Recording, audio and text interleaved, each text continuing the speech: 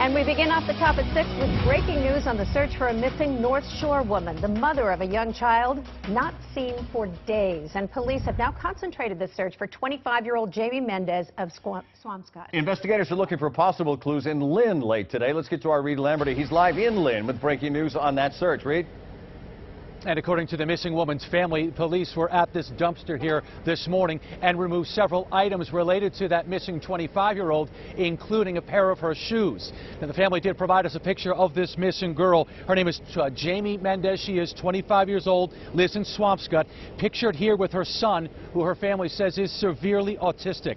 She was last seen and heard from, according to her family, on Thursday afternoon. They say police were at this dumpster this morning behind a CVS on Eastern Avenue here in Lynn. They tell us that several items, including a rug, clothes, and the missing woman's sneakers were taken from the dumpster. Her family, of course, has been looking for Jamie for the past three days. Today, they scoured two different locations they believe she had been on the day she went missing. Her family also tells us they know who she was last seen with. She was worried, she was freaked out, she was with this guy, he was acting weird, she wanted to get out of there the guy that she called went to pick her up and she never showed. And that's it. That's the last time anyone heard from her. Her phone's been off until they found her phone. Uh, they found her phone and her oh. jacket and her ID.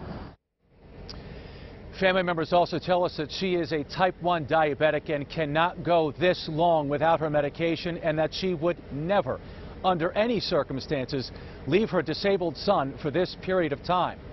Live in Lynn this afternoon, I'm Reid Lamberty, WCVB News Center 5.